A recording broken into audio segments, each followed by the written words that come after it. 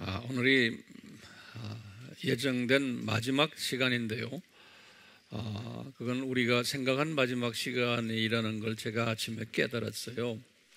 아침에 제가 주님 말씀을 이렇게 상고하면서 아, 이 기나긴 아, 이 요한계시록을 또 복잡한 요한계시록을 아, 3일 안에 끝낸다는 것은 그 우리 인간의 교만 같아요. 니네들이 얼마나 아, 하나님의 마음을 3일 동안 알 수 있느냐. 그래서 주님께서 저에게 꾸중을 주세요. 3일 동안 뭐 하겠느냐? 왜 사람 눈치 본다는 거죠? 별 보고 그래. 너 왜 사람 눈치 보느냐? 사람들이 3일 더 하면은 며칠 더 하면은 뭐 힘들고 뭐 어쩌고 저쩌고 그럴 텐데라는 그래서 제가 회개했어요. 아, 사람 눈치를 보고 내가 하는구나 하는 걸 그래서 아, 제가 이렇게 하기로 마음을 먹었어요. 어떻게 하냐면요. 아, 다음 토요일 제가 다시 해요. 저희 아미교회가 금년 지나갈 때까지 12월에 주일 설교를 제가 계속해서 요한계시록에 연결해서 주일 설교를 할 거예요. 그러니까 주일 설교도 이런 식으로 하고 그 다음에 이제 설교가 끝나고 점심 식사를 끝내고 우리가 셀 모임이 있거든요. 셀그 시간에도 이런 식으로 계속 할 거예요. 우리 아미교회 교인들은 무슨 말인지 이해가 되시죠? 네. 그리고는 그런 식으로 그 다음 토요일, 그 다음 주일 또 계속 할 거고 그리고 그 다음 토요일, 그 다음 주일 그리고 또 그 다음 토요일, 그 다음 주일 하면 연말이 돼요. 그래서 어, 앞으로 3주를 계속해서 토, 토일 계속 할 거예요. 그래야 이제 저도 좀 마음이 좀 시원할 것 같아요. 하고 싶은 말 좀 하고 그리고 요한계시록이 이제 핵심이 이제 그때 가서 나오거든요. 예. 그러니까 지금까지는 다 이게 아, 소위 서론적인 이야기들을 계속 해왔어요. 예. 그래서 아, 타교회에서 오신 분들은 본인들이 알아서 아, 알아서 성령님의 인도하심에 따라서 하시길 바래요. 예, 예. 그 엄청난 하나님의 말씀을 우리가 대하는데 정말 이렇게 의자에 앉아서 그 말씀을 받는 자체도 이게 무례하거든요. 그러니까 이스라엘 사람들은 다 무릎을 꿇고 앉아서 주님의 말씀을 받았잖아요.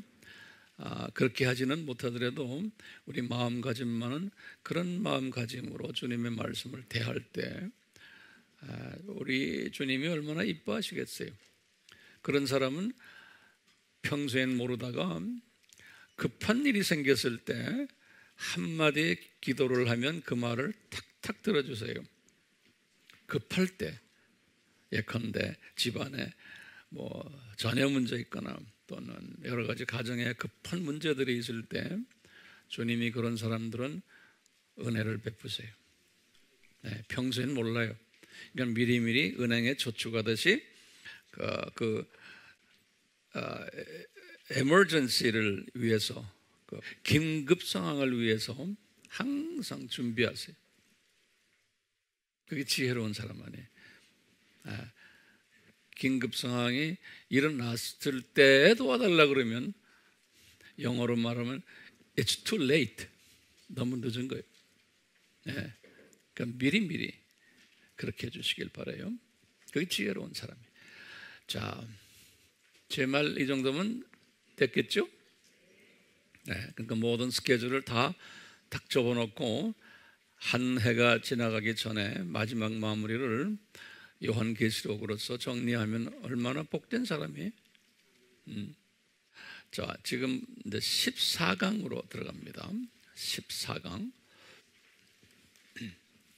14강은 아, 요한계시록 4장과 5장에 4장과 5장.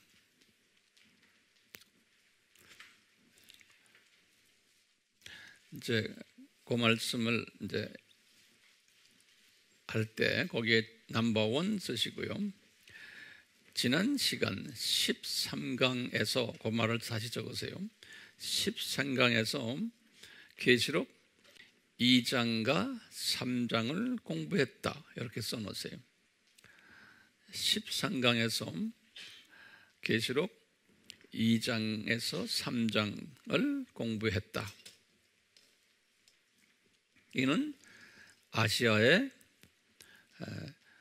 일곱 교회였다. 이렇게 항상 우리가 리뷰 한 번 하는 거예요. 근데 이 아시아 일곱 교회를 아, 거기다 있는 남을 쓰시면 두 가지 측면으로 어, 어, 해석을 한다. 그 중에 첫 번째는 세대주의적 해석과 두 번째는 어, 역사적 전천년주의 또는 무천년주의 심지어는 후천년주의 이렇게 두 그룹으로 아, 해석하는 거예요. 제 말 아시겠죠? 예. 그래서 어제 우리가 아, 이 일곱 교회를 주로 어, 그 두 번째 접근 방법으로 해석을 했던 것 기억나시죠? 어제 우리 그렇게 해석했어요. 그렇게 해석하시면서 항상 우리가 융합적인 접근 방법을 어, 잊지 말아야 하기 때문에 세대주의적 접근 방법도 항상 염두에 두시면서 종합적으로 해석하는 연습을 하시면 좋겠어요. 이제 예컨대 우리가 이제 에베소 교회를 우리가 볼 때 세대주의에서는 에베소 교회를 30년에서 100년 교회로 봤잖아요. 그러니까 그것을 완전히 무시하지 마시고 이분들도 다 성령님의 조명하심에 의해서 그렇게 주장을 하니까요. 그냥 무시해 버리는 것은 무례한 짓이고 또 주님께서 또 기뻐하지 않으세요. 그러니까 그분들을 통해서 주시는 그 영감을 도대체 이게 뭔가? 그러면 이 에베소 교회가요. 우리 어떤 교회인지는 어제 우리가 보았지만 그 소위 그 교회를 그, 그 기간을 교부 시대라고 그래. 교부 시대. 교부라는 거는 아, 그 열두 제자님들, 열두 제자님들 또 사도 바울과 그 제자들 이분들을 가리켜 교부라는 단어를 써요. 아, 그 교부. 이 교부들의 아, 영어로는 patriarch이라는 patriarch이라는 단어를 쓰는데요. 교부 시대의 교회를 의미한다. 근데 교부 시대의 교회가 에베소 교회처럼 시작이 잘 나가다가 나중에 끝이 좋지 않은 그런 모습을 보았잖아요.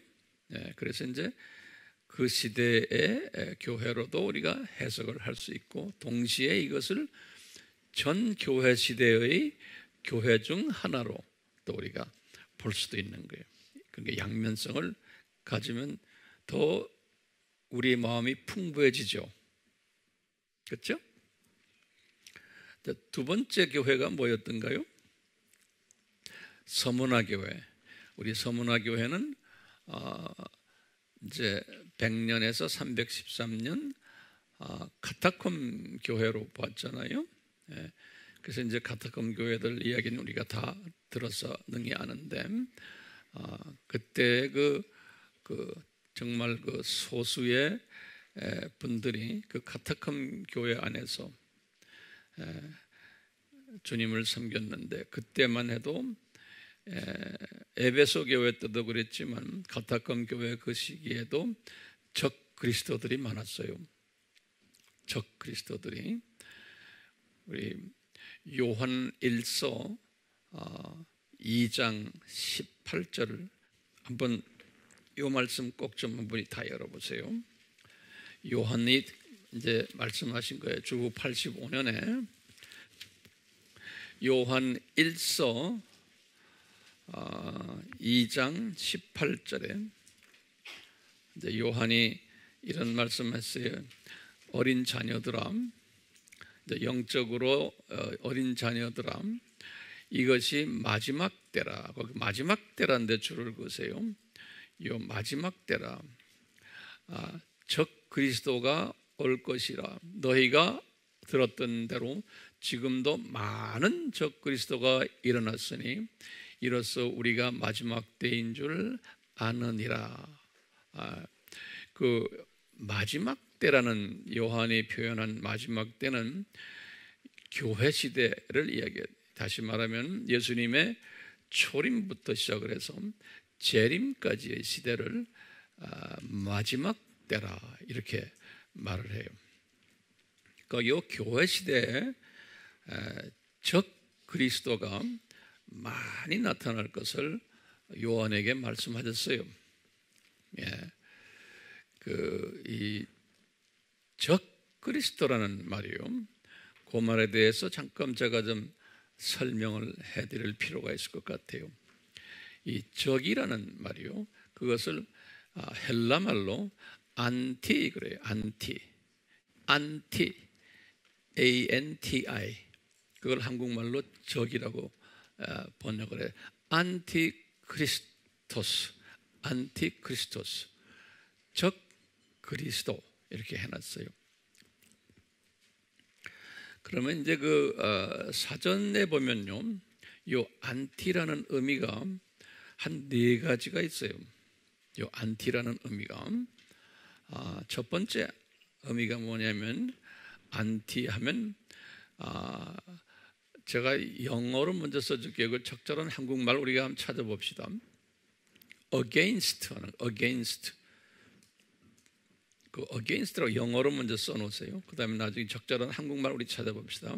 그게 안티라는 뜻이에요. 그 다음에 두 번째 안티의 뜻은 opposite, opposite 하는 거예요. 그게 이제 안티라는 뜻이고요. 세 번째 안티는 뭐냐면 아, 우리가 instead of, instead of란 말이죠. instead of 또는 in place of instead of 뭐뭐 대신에 그런 말이죠. 이거 모르면 여기 앉아 있을 수 없어요. instead of 다 아는 소리 아니에요. 요새는 초등학교 애들도 다 알던데. 예. 그 다음에 세 번째, 네 번째는요. false라. false. F O F A L S E. false. false란 말은 한국말이 뭐예요? 거짓이란 뜻이에요. 거짓. 그 한국 가로에 올고 false는 거짓이. 그 다음에 instead of 뭐예요? instead of은 뭐뭐 대신하여라 그런 뜻이죠. 뭐뭐 대신이죠. 네, 대신하여. 여기 영어 선생들 몇 사람 앉아 있으니까 저를 좀 도와주세요. 그 다음에 아, against는 뭘까요? against와 opposite하고 어떻게 달라요? 아, 여기에서 예를 들어서 He is against me. 그러면 이게, 이게 무슨 뜻이에요? 어? 대항한다. 대항한다. 예. 대항한다 또는 무슨 뜻이에요? 대항한다. opposite는 뭐 아예 반대한다. 맞아요. 예, 거기 그 의미가 달라요. opposite은 반대편에 있는 반대한다는 소리고 against는 대항한다는 뜻이에요. 맞아요. instead of은 대신한다. 그 다음에 false는 거짓이다. 그 다섯 번째 지우세요. 네 가지 예, 이렇게 그렇게 네. 예, 요 안티라는 말이. 근데 적 그리스도라 그러면 우리는 우리의 개념으로는 우리 한국말로는 원수 적인 이런 이런 의미가 있는데 그것보다는 이렇게 다양한 이런 네 가지 의미가 있어요. 그러니까 뭐냐면요, 이 적 그리스도 거기다 좀 질문 하나 집어넣으세요. 왜 교회 시대에 많은 적 그리스도들을 허락하셨나요? 지금 요한이 분명히 말씀하셨잖아요. 왜 교회 시대에 많은 적 그리스도들을 허락하셨나요? 그러면 첫 번째는 이 교회 시대는 하나님의 자녀들을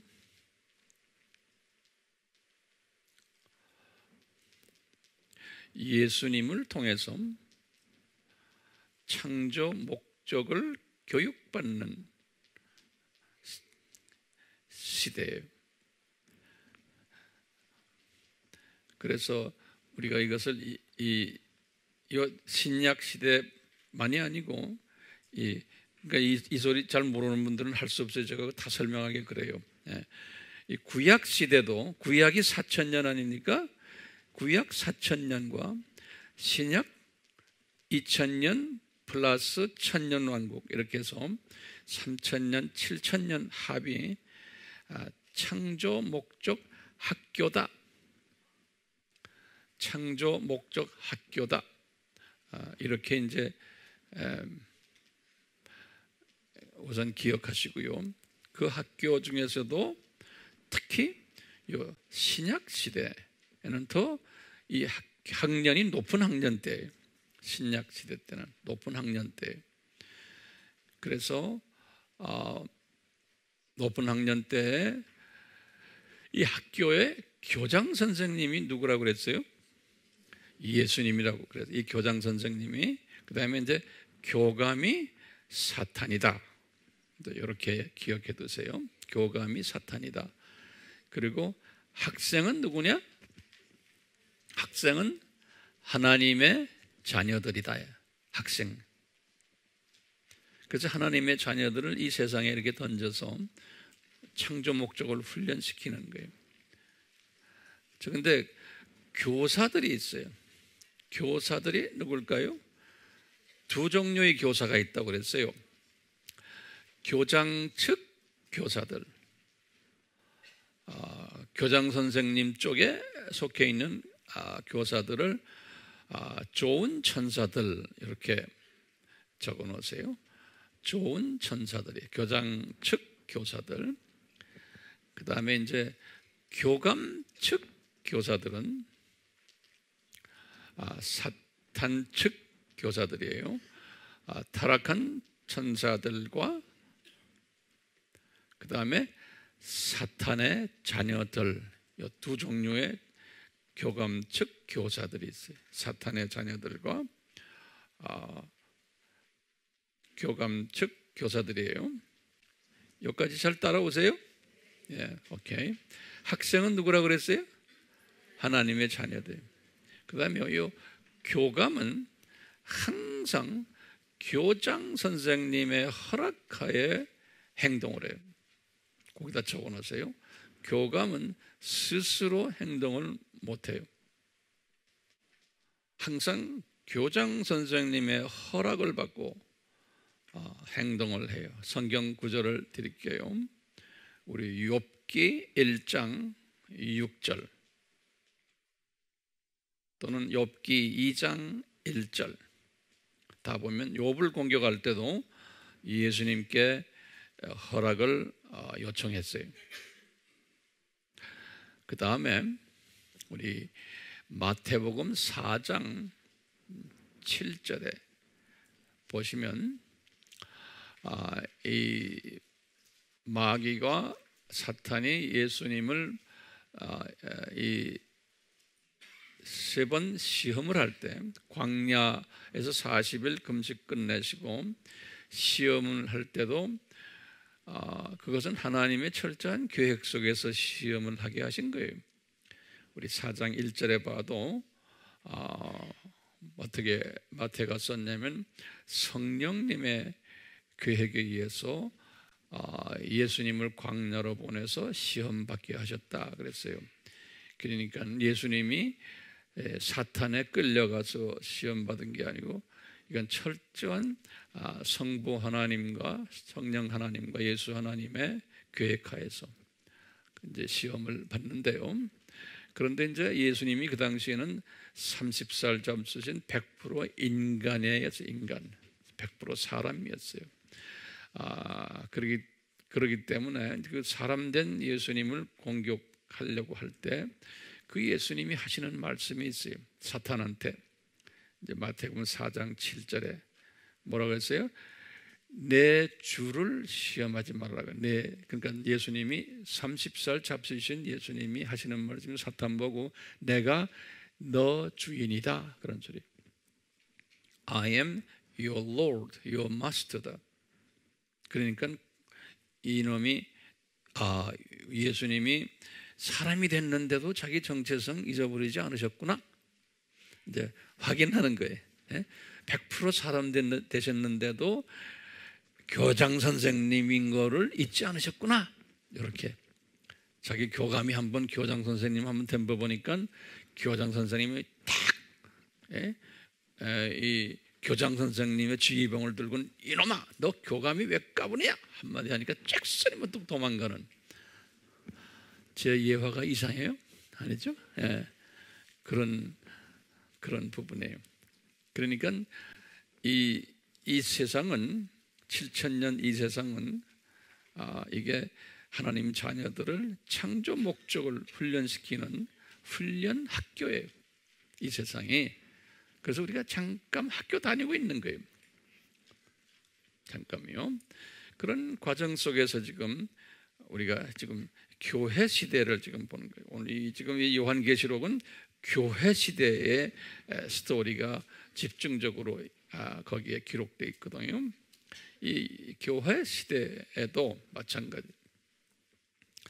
아, 자, 예수님의 예수님이 교장 대심이에요. 그걸 훈련받는 시대인데 우리 일곱 교회를 봐도 이제 그런데 여기에 어떤 과목이 하나가 있냐면 가짜 예수님을 등장시키는 거예요. 과목 중에 하나가 훈련하는데 왜냐하면 하나님의 자녀가 가짜 예수님을 등장을 받아서 가짜를 봐야지만 진짜가 더 부각되거든요. 그러니까 진짜를 부각시키는 교육을 시키시기 위해서 가짜 그리스도, 가짜 예수를 여러 모양으로 아, 등장을 시켜요. 그래서 등장할 거다라고 아예 다 예언까지 해놨어요. 가짜들이 등장할 거다. 그러니까 그 말은 뭐예요? 진짜 공부를 하려면 가짜 등장하는 걸 보고 가짜 보고는 진짜를 더 확인하고 그러는 거예요. 그래서 가짜 그리스도가 어떻게 나타나느냐? 안티라는 단어 속에 들어가 있는 거예요. 어떤 때는 어떻게 해요? 대항하는 자로. 어떤 때는 뭐예요? 반대하는 자로. 또 뭐예요? 어떤 것은 거짓 그리스도로. 그 다음에 또 뭐예요? 대신하여. 이런 식으로 나타나는 거예요. 그러면 이제 우리가 예수 그리스도의 정체성을 제대로 교장 선생님에 대한 정체성을 제대로 알면은 제대로 공부하라는 거예요. 안 그러면 요 가짜한테 넘어진다는 거예요. 그러니까 미리 다 이런 가짜들이 나올 것을 미리 다 가르쳐 준 거예요. 그러니까 이 말은 너희들 진짜 공부 제대로 해라. 요 메시지나 마찬가지예요.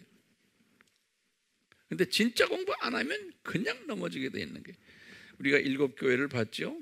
어저께 일곱 교회 보니까 진짜 공부하는 교회가 두 개밖에 없어요. 그렇죠? 나머지 교회들은 뭐해? 다 가짜를 등장시켜 놓으니까 거기에 다 자빠지는 모습을 봤잖아요. 오늘날이 그게 더 심하다고 이제 그러는 거예요. 이, 이 종말 때인데 오늘날은 종말 중 종말 아니에요. 그러니까 이 가짜가 더 심하게 나타나게 되어 있고 그래서 이제 우리 나중에 이제 연계시록에 이제 이제 13장 이제 쪽에 가면은 이제 거기에 대한 자세하게 또 나와요. 진 가짜가 엄청난 가짜들이 나타나는 것을요. 그것을 우리가 종교 다원주의 그랬죠? 그래서 예수님께서 거기다 적으세요. 한번 그 성서 한번 보세요. 마태복음 24장을 아, 한번 열어보시면 평소에 우리 아는 분들은 알지만 다시 한번 확인해 봐요. 20 아, 마태복음 24장 그래 놓고 3절을 딱 보세요. 24장의 3절을 딱 보시면 24장 3절입니다. 제자들이 예수님께 질문하는 말씀이에요. 예수님, 예수님이 재림 전에 무슨 일들이 일어날 것입니까? 그 질문이 3절이에요. 그러니까 예수님께서 이제 4절부터 쭉 해서 이런 일 저런 일 일어날 거다 쭉 말씀하시고는 23절을 딱 보세요. 23절에 우리 잘 아는 예수님이 이런 말씀하셨죠. 그리스도가 여기 있다, 저기 있다 할 때가 온다는 거예요. 이 말은 우리가 어떻게 해석했죠? 그리스도가 어, 힌두교에도 있고 불교에도 있고 불교의 부처가 그리스도고 힌두교의 비슈나가 그리스도고 이슬람교의 머허멧이 그리스도교 이런 일들은 지금 WCC에서 하고 있어요. 그리고는 기독교의 그리스도는 예수다. 라고 가르치는 거예요. 그러니까 예수님이 타종교의 그 타종교를 만든 그분들과 같은 수준으로 만들어 놓은 거예요. 오늘날 전 세계의 한 6, 7, 80%의 교회들이 지금 이쪽으로 가고 있어요. 타종교의 그리스도와 기독교의 그리스도는 같은 레벨의 그리스도다. 그것을 우리가 종교 다원주의라 그러잖아요. 예수님이 종말 때 증조 중에 이런 일들이 일어날 거라는 거예요. 그러면서 24절에 보면 이런 말씀하셨어요.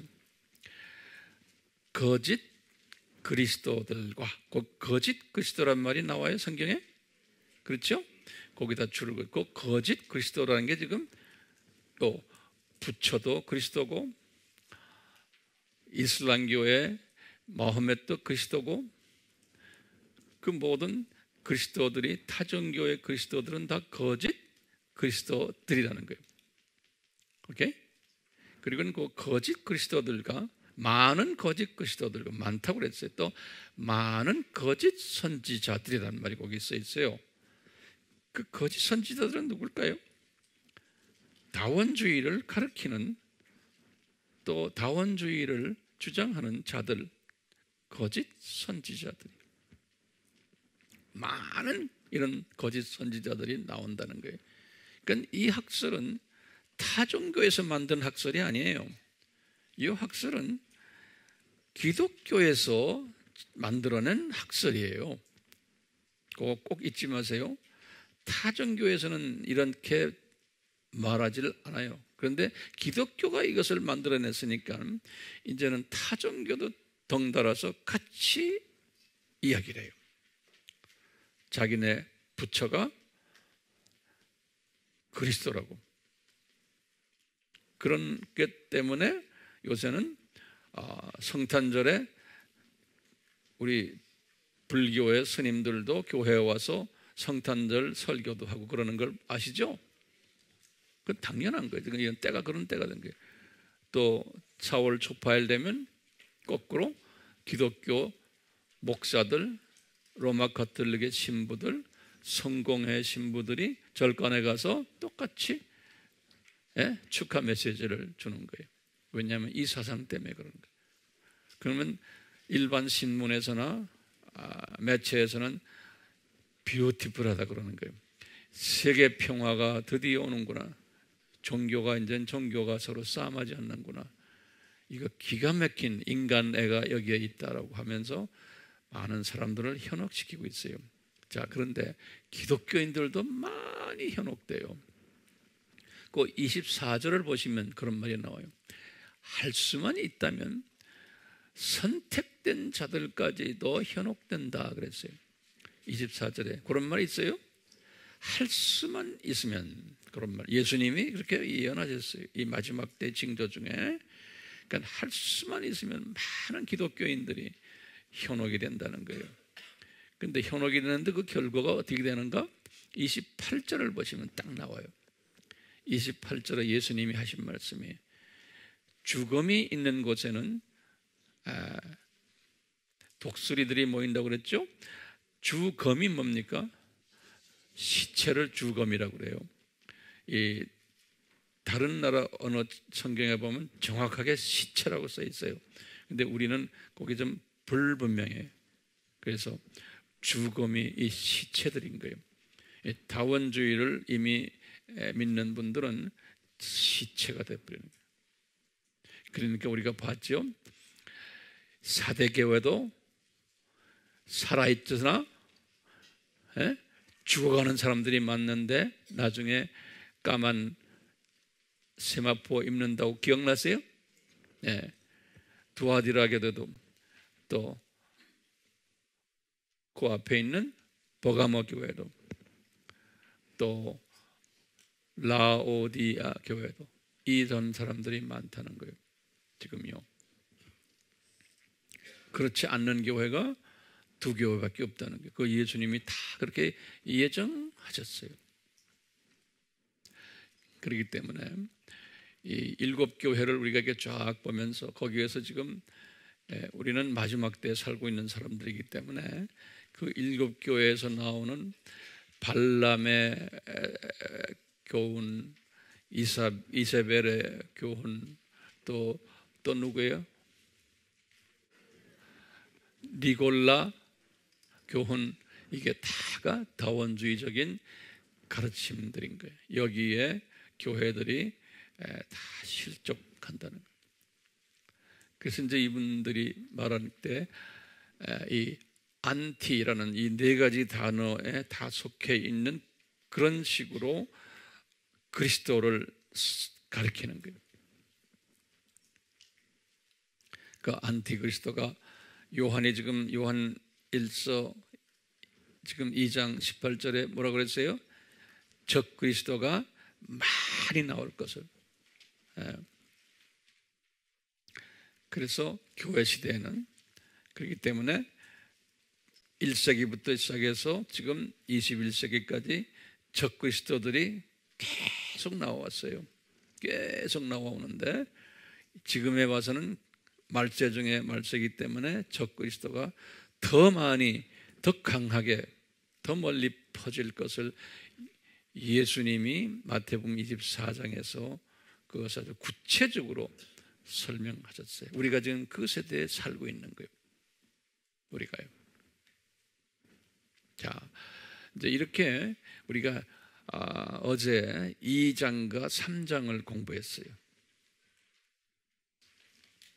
자, 오늘은 우리가 4장과 5장을 공부할 터인데 4장과 5장은 어저께 공부 다 했어요. 그렇죠? 그래서 그 노트에다 적으세요. 4장과 5장은 어저께 공부 다 했습니다. 그렇게 적어만 놓으면 돼요. 예. 그리고 우리가 한 10분, 15분 쉬었다가 합시다.